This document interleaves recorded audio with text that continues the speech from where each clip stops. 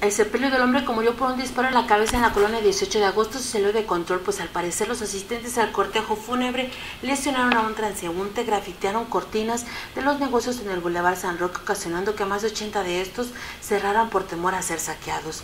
Los locatarios aseguraron que la inseguridad está peor que nunca y cuestionan al director general de Seguridad Pública, Salvador Terán de Santiago, ante sus constantes declaraciones de que Irapuato es un lugar seguro.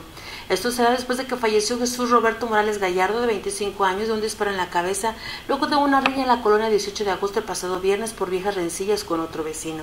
Este día, alrededor de 200 amigos, vecinos y familiares que acompañaban a Jesús a su última morada salieron de la colonia para tomar el Boulevard San Roque mediante una bocina en una camioneta gritaban consignas contra la autoridad.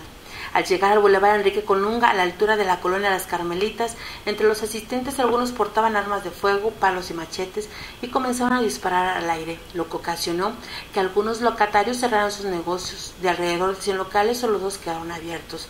Sin embargo, a unos metros antes de llegar al puente de Floresta, Sergio, de 20 años, quien labora en uno de los locales sobre el Boulevard, caminaba por la calle y fue sorprendido por varios integrantes del cortejo aventándolo al interior de una ferretería. Ahí lo golpearon y lesionaron al parecer con un picayelo. Esto, según los locatarios, quienes auxiliaron al lesionado y reportaron el hecho a la policía, quienes tardaron más de 30 minutos al llegar al lugar. La ambulancia trasladó al lesionado al hospital para recibir atención médica. Después del hecho, los alrededor de 80 locatarios de ambos lados del bulevar cerraron sus locales pues aseguraron que tenían temor a ser saqueados o robados tras el regreso de los integrantes del cortejo. En el lugar hubo dos robos a motocicletas. Después, con una sola patrulla con dos policías, dio varios recorridos por el lugar.